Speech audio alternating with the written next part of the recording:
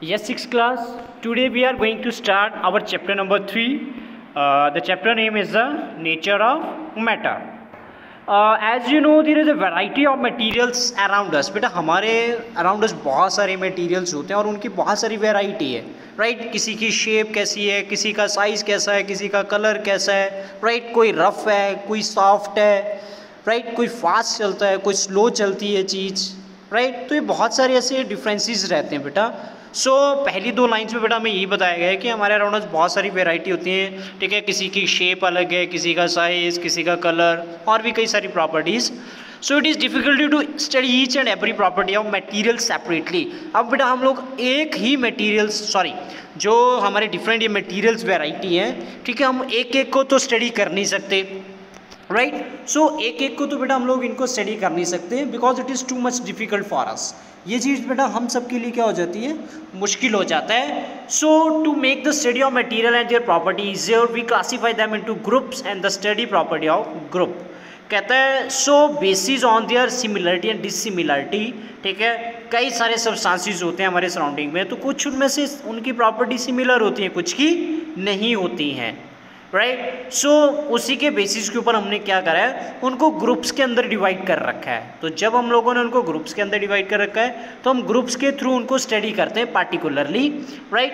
कैसे जैसे बेटा अब यहाँ पे आपको बताया गया है कि we see a sorry then the first point we they in the first point look at the marble in the given box कहता है ये जो बॉक्स बेटा हमें साइड पे दे रखा है, अगर हम इस बॉक्स में देखें तो कुछ इसमें से ऐसे हैं जो बेटा रेड कलर के मार्बल्स हैं और कुछ ऐसे हैं जो ब्लू कलर के मार्बल है. So here ten marbles are red in colour and ten marbles are blue in colour right so अब इन सबके साइज़ कैसे बेटा? सेम है. साइज़ तो सबका क्या है? सेम है. और लेकिन इनके कलर्स क्या हैं? डिफरेंट एक दूसरे के.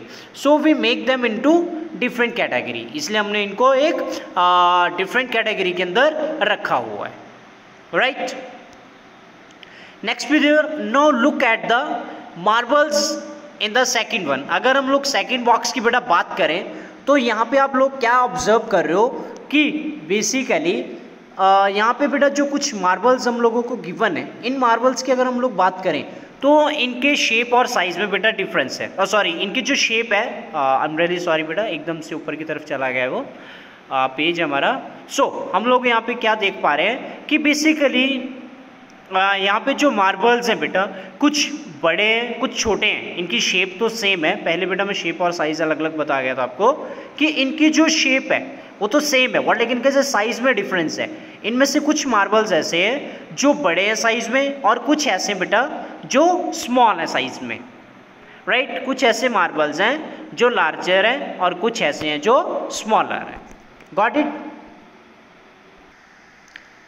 जी बेटा सो so, uh, इनके साइज़ के बेसिस के ऊपर बेटा हम इनको डिफ्रेंशिएट कर सकते हैं। Now we have an a third one point with इस पॉइंट में हम लोग बेटा क्या देख रहे हैं कि now consider the following set of materials अब इसमें जैसे आपका wood water air glass tumbler steel plate milk plastic bucket kerosene अब यहाँ पे हमें बेटा ये डिफरेंट डिफरेंट नेम्स गिवन है। सो ये डिफरेंट डिफरेंट प्रोडक्ट्स हैं different different variety of materials हैं। इनमें से अब कोई सॉलिड है, कोई लिक्विड है, कोई गैस है, कोई ज़्यादा चमकता है, कोई कम चमकता है, किसी के हम लोग इजीली आर पार देख सकते हैं, किसी के हम लोग नहीं देख सकते। राइट सो बहुत सारी बेटा इनकी प्रॉपर्टीज़ हैं। ठीक है? बट अब हम इन सबको वन बाई वन करके तो पढ़ नहीं सकते। हाँ एक चीज़ और बेटा कि इनमें से जो कुछ मटेरियल हैं जो हमें डायरेक्टली नेचर से मिलते हैं। इनमें से कुछ ऐसे मटेरियल हैं बेटा हमारे पास जो डायरेक्टली हमें कहाँ से मिल रहे हैं? नेचर से मिलते हैं। Right right? सो so, कुछ ऐसे हैं जिन्हें हम लोग खुद सिंथेटिक करते हैं। सो so, uh, क्या कह रहा है नेक्स्ट पैराग्राफ कि they have very different properties but some of them are naturally occurring while others are man made कहते हैं कि इनमें से कुछ ऐसे हैं जो नेचुरली अक्रिंग है और जो कुछ है जो मैन मेड है। The material which occur naturally are called natural material अब जो मटीरियल हमें नेचर से डायरेक्टली मिलते हैं, उनको हम लोग क्या नाम देते हैं? नेचुरल मटीरियल्स का। और the material which are prepared by man are called man made और सिंथेटिक मटीरियल्स राइट वो मटीरियल जिन्हें आदमी खुद बनाता है। वो मटेरियल सिंथेटिक और man made material no here we can easily categorize the man made animals sorry man made materials और नेचुरल मटीरियल्स अगर मैं नेचुरल मटीरियल्स की बेटा बात करता हूँ तो हमारे पास जैसे air water kerosene diesel petrol plants right soil mountains काफ़ी सारे हैं। मैन मेड मटीरियल्स की बात करें तो मैन मेड मटीरियल्स बेटा हमारे पास बहुत सारे आ जाते हैं। जैसे मान लो इलेक्ट्रिक फ़ैन ठीक है ब्रिक्स राइट ब्रिक्स के बाद बेटा हमारे पास आ जाता है जैसे चेयर टेबल राइट बहुत सारी ऐसी चीज़ें हैं। हमारे बेंचीज़ हैं टाइल्स हैं स्विच बोर्ड्स हैं कर्टेंस हैं, ठीक है क्लॉथ है। ये सब के सब बेटा क्या है हमारे पास? मैन मेड मटीरियल्स हैं।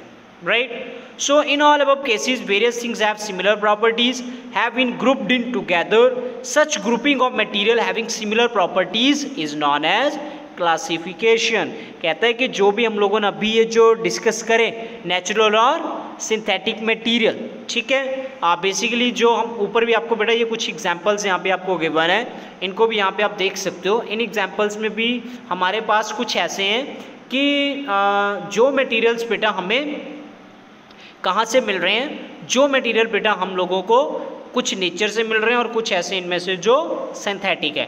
बट अब जैसे मैं वुड की बात करता हूँ तो वो सॉलिड है ठोस है। वाटर वो एक लिक्विड है। एयर एक गैस है। जैसे ग्लास टम्बलर है वो बेटा आपका सॉलिड होता है। स्टील प्लेट सॉलिड की है। मिल्क लिक्विड है। प्लास्टिक बकेट सॉलिड है। कैरोसिन लिक्विड है। सो so, अब इनको हम लोग कुछ इनमें से ऐसे हैं जो सॉलिड है, उनको अलग रखा है। जो लिक्विड्स वाले हैं, उनको हम लोग अलग मान के चलेंगे। सो कहता है कि on the basis of similar and dissimilar properties कि सिमिलर और डिसिमिलर प्रॉपर्टीज़ के बेसिस के ऊपर हम लोग सब्सटेंसेस को क्या करते हैं बेटा? कैटेगराइज करते हैं और इस प्रोसेस को हम लोग क्या नाम देते हैं? क्लासिफिकेशन का। Right next video we have an a matter all the things that we see around us are made up of matter right right? कहते हैं कि जो भी चीज़ें बेटा हमारे सराउंडिंग में, चाहे कुछ भी है, चाहे लिविंग है, चाहे नॉन लिविंग है they all are made up of matter अब वही मैटर होता क्या है? Matter is something which has mass and which occupies space कहते हैं कि मैटर वो चीज़ है जिसमें बेटा उस ऑब्जेक्ट का अपना मास मतलब कि अपना वेट होता है और वो एक स्पेस ऑक्यूपाई करती है, एक पार्टिकुलर स्पेस बेटा उसको चाहिए होता है मटेरियल्स को। जैसे अगर मैं बात करता हूँ लकड़ी के टुकड़े की तो अपना एक स्पेस ऑक्यूपाई करेगा, वो अपना उसका वेट भी होगा। जैसे हम लोग हैं तो हमारा अपना एक वेट भी है, और जब भी हम लोग किसी जगह पे रुकते हैं, बैठते हैं या सोते हैं तो हम लोग एक स्पेस ऑक्यूपाई करते हैं।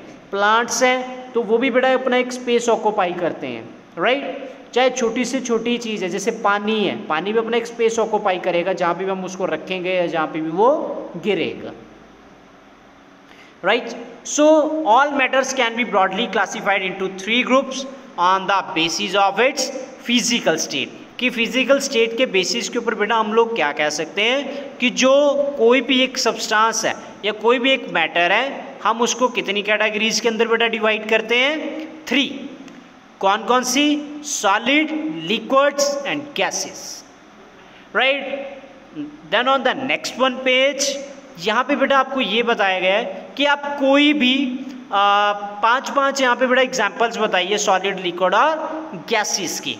तो सॉलिड्स में हमारे पास कोई भी चीज़ जैसे ठोस है बेटा जो हार्ड है जैसे आपकी wall bed table bench chair right duster आपकी विंडोज़ की विंडोज़ के जो ग्लास हैं, ठीक है?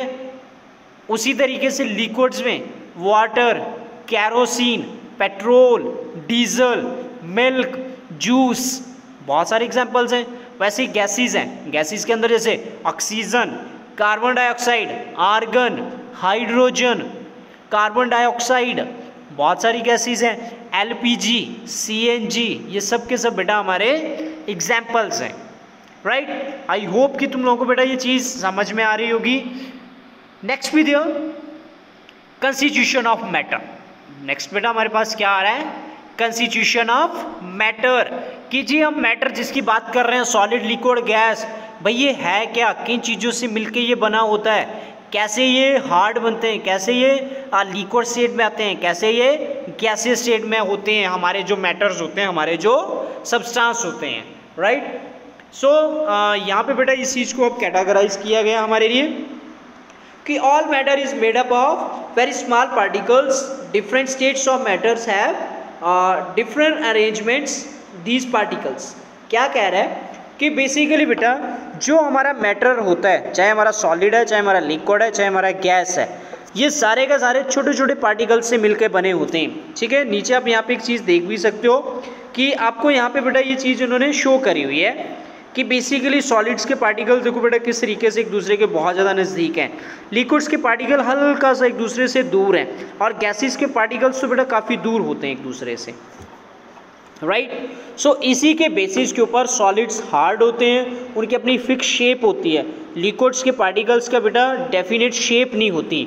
और उनका बट डेफिनेट वॉल्यूम होता है। मैं बताऊँगा आपको इसके बारे में भी लेटर ऑन धीरे धीरे जैसे हम लोग स्लाइड्स की तरफ़ आगे बढ़ते चलेंगे। सो नेक्स्ट हमें क्या बता रहा है वो? अब पार्टिकल्स के देखिए बेटा उनके साइजेस के उनकी प्रॉपर्टीज़ जो यहाँ पे शो हो रही हैं।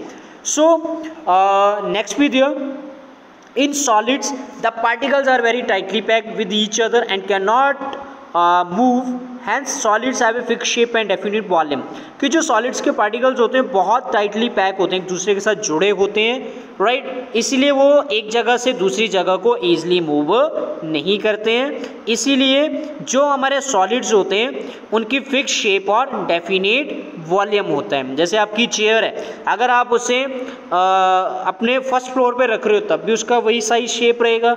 अगर आप उसे ग्राउंड फ्लोर पे रख रहे हो तब भी वही रहेगा। बेड के ऊपर रख रहे हो तब भी उसका वही रहेगा। रहेगा उसकी शेप और साइज़ में कोई चेंज तो नहीं आता? नो बिकॉज़ उसके जो पार्टिकल्स होते हैं, वो काफ़ी क्लोज होते हैं एक दूसरे के। Next video in liquids particle are less tightly packed and cannot move a little liquids have a definite volume but do not have a fixed shape आगे कह रहे हैं कि जो लिक्विड्स होते हैं ना वो भी उनके जो पार्टिकल्स होते हैं सॉलिड्स के मुकाबले बेटा वो थोड़े से लेस पैक्ड होते हैं, वो थोड़ा सा एक दूसरे से दूर होते हैं। और जो ये लिक्विड्स होते हैं, इनका डेफिनेट वॉल्यूम तो होता है बट उनकी फिक्स शेप नहीं होती है। कैसे मैं आपको बता सकता हूँ? जैसे बेटा हमारे पास वाटर है। अगर हम उसको एक राउंड शेप बॉटल में डालते हैं तो वो राउंड शेप हो जाएगा। अगर मैं वाटर को एक लीटर पानी को धरती पे नीचे गिरा दूँ फ्लोर पे तो वो पूरे फ्लोर के ऊपर बिखर जाएगा। अगर उसको मैं बड़े पतीली के अंदर डालता हूँ, बड़े पतीले के अंदर डालता हूँ तो वो वैसी शेप अक्वायर कर लेगा वाटर अगर उसे मैं ग्लास के अंदर डाल रहा हूँ तो वो वैसी शेप को अक्वायर कर लेगा। Right right? बट उसका जो वॉल्यूम है बेटा, वो सेम रहेगा। उसके वॉल्यूम के अंदर कोई चेंज नहीं आता है। ठीक है, एक लीटर पानी है, आप जैसे बर्तन में उसको रखोगे, वो वैसी शेप एक्वायर कर लेगा। Then next video in gases the particles have very little hold on each other they can therefore move apart from each other hence gases have neither a fix shape nor a definite volume कि जो gases होते हैं, उसके particles का बड़ा एक दूसरे के ऊपर बहुत कम होल्ड होता है। इसीलिए वो आ, ऐसे पार्टिकल्स क्या होते हैं? बहुत दूर दूर होते हैं एक दूसरे के। वो एक दूसरे के नज़दीक नहीं होते हैं। इसलिए गैसेस की ना कोई फिक्स शेप होती है और ना कोई फिक्स उसका वॉल्यूम होता है। राइट उसके पार्टिकल्स की वजह से बेटा।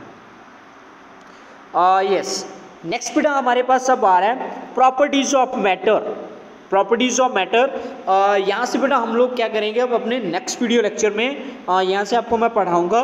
So in the coming next video lecture we will be start from this one topic properties of matter okay so for this video lecture we done only for today up to here from the next we will start the properties of matter so thank you